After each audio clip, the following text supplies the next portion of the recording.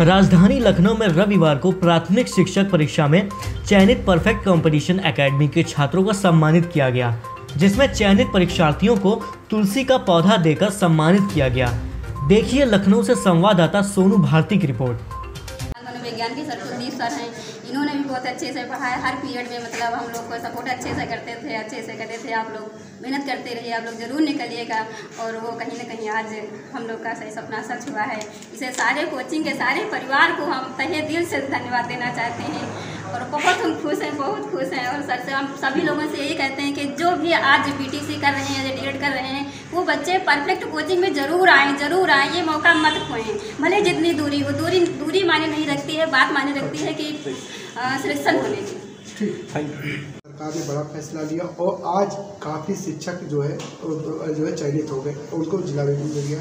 आपके जो इंस्टीट्यूट है, किस तरीके से बच्चों की तैयारी कराया और किस तरीके जो है, क्या करते हैं कि हम लोग जो सिलेबस आता है सिलेबस के अकॉर्डिंग ही टू द पॉइंट हम लोग तैयारी करवाते हैं और जो टॉपिक वाइज हम लोग तैयारी करवा के उसी टॉपिक वाइज टेस्ट भी करवाते हैं और इस तरीके से हम लोग पूरा सिलेबस कवर कर लेते हैं, जिससे बच्चों को हर टॉपिक में पूरी पकड़ हो जाती है।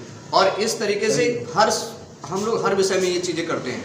और इस तरीके से हम लोग जो है मेहनत कराते हैं जैसे बच्चों का रिज़ल्ट आता है। जैसे उनहत्तर हज़ार शिक्षक भर्ती की बात करें तो हम लोगों के तीनों सेंटर में, हम लोगों के जो परफेक्ट अकेडमी है, उसके तीन सेंटर हैं, पुरानिया, कपूरथला और आलमबाग। इन तीनों सेंटर पर लगभग छः हज़ार बच्चे थे। इनमें से इकतीस बच्चे अंतिम रूप से चयन हुए, चयनित हुए हैं, जिनमें से लगभग 600 बच्चों ने ज्वाइन भी कर लिया है। इनमें से कुछ बच्चों को आज हमने बुलाया है। जो आपके सामने हैं अभी आपसे भी बात करेंगे। हर पेरेंट्स का सपना होता है कि उसका बेटा या बेटी सरकारी नौकरी करे।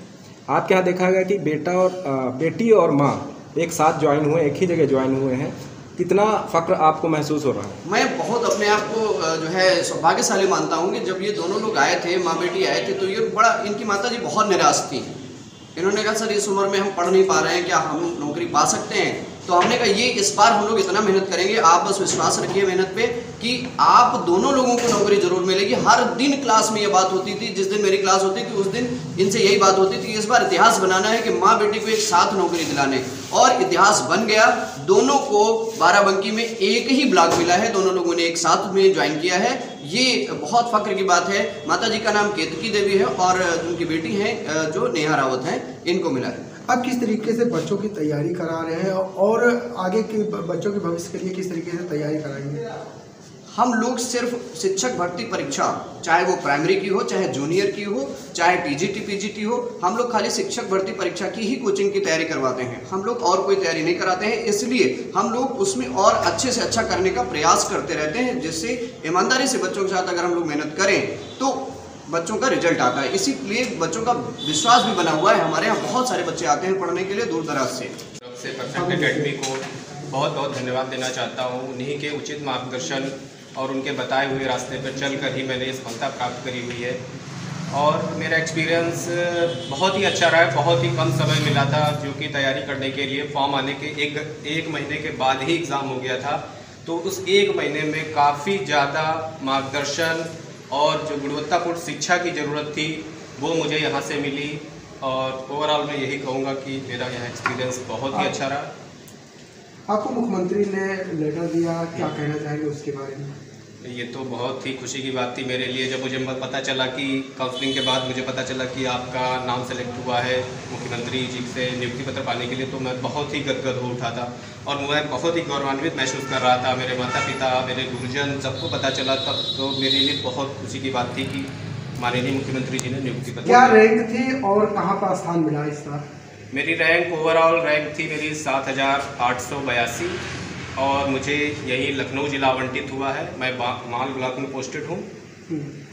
अभिभावकों के लिए क्या संदेश है जो अपने बच्चे के ऊपर बहुत ज़्यादा प्रेशर डालते हैं बहुत ज़्यादा उसको परेशान करते हैं कि पढ़ाई में ध्यान दो?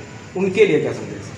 मैं सभी अभिभावकों से यही कहना चाहता हूँ अगर आपका बच्चा सरकारी नौकरी की तैयारी में लगा हुआ है तो आप थोड़ा सा धैर्य रखें। जो कि यहाँ की थोड़ा सा मैं कहूँगा कि थोड़ी पॉलिसी गड़बड़ है जो कि फॉर्म आने के बाद जॉब मिलने तक मिनिमम दो से तीन साल टाइम लग जाता है।